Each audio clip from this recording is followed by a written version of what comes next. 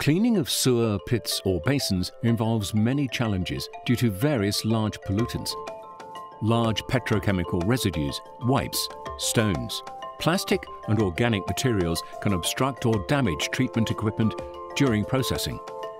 By integrating the plug-and-play rotary drum sieve into the process, large contaminants can immediately be removed on site and without delay.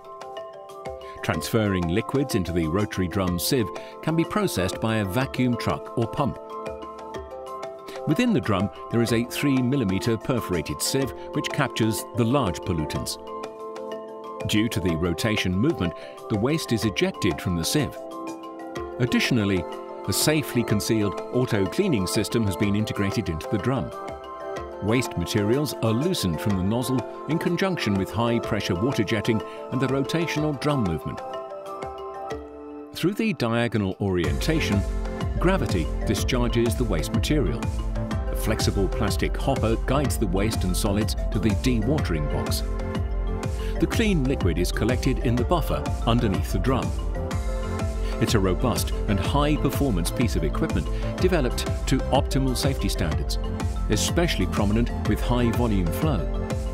The ergonomic design promotes effective maintenance with the ability to service and replenish the sieve.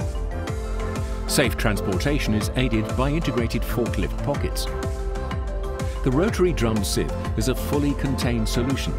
It operates silently and unpleasant odours are inhibited, making it perfect for industrial environments.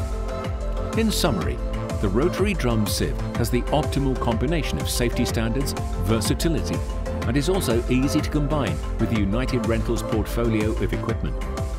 The dewatering box for waste or sludge, different filtration tanks for further treatment of the liquid, and pumps for pumping the water or liquids.